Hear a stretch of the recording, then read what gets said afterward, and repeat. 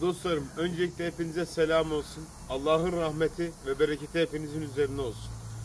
Dostlarım biliyorsunuz ki metafizik camiası son derece kirli, pis, rezil ve inanın İslam coğrafyası üzerinden yapılan bir takım muskalar, ritüellerle alakalı kirliliklerle dolu.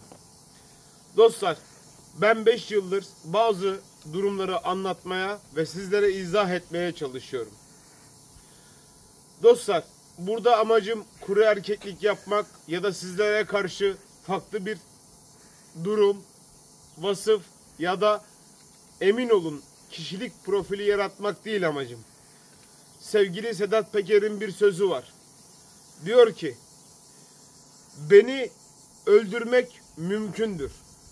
Ama asla beni küçültemezsiniz. Dostlar, asla kimse beni küçültemez. Yapılan haberler, yapılan bir takım izahatler, hakkımda yapılan yorumlar beni hiçbir zaman küçültemez. Beni öldürmek mümkündür. Ama kimse beni küçültemez. Dostlar, metafizik camiasına adımı altın harflerle kazıdım. Bunu söylemekten zerre kadar da zerre kadar da emin olun hiç endişe yaşamıyorum.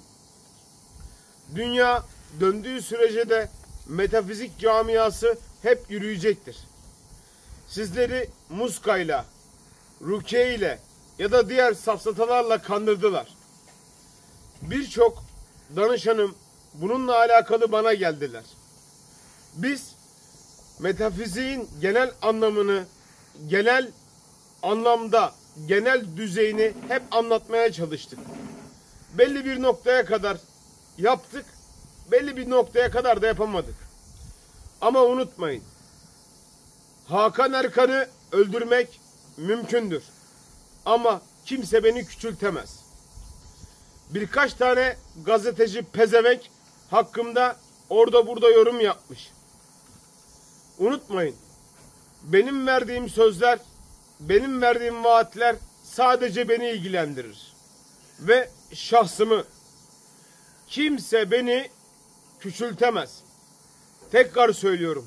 Beni öldürmek mümkündür. Ama kimse beni küçültemez. Bulunduğumuz coğrafyada Mezopotamya'da özellikle de yapılan bir takım işlemler, bir takım büyüler bunların hepsinin farkındayım. Coğrafya ne ne ne ne ister bunun da farkındayım. Dostlar bulunduğunuz durumun her şeyin farkındayım. Tekrar söylüyorum. Amacım kuru erkeklik yapmak değil. Hayat geldi geçiyor. Bir kuru toprağa gireceğiz. Unutmayın. Beni öldürmek mümkündür. Ama asla beni hiçbir gazeteci, hiçbir yorumcu küçültemez. Saygı, sevgi, selamlarımla dostlarım. Allah'a emanet olun. Saygılarımla.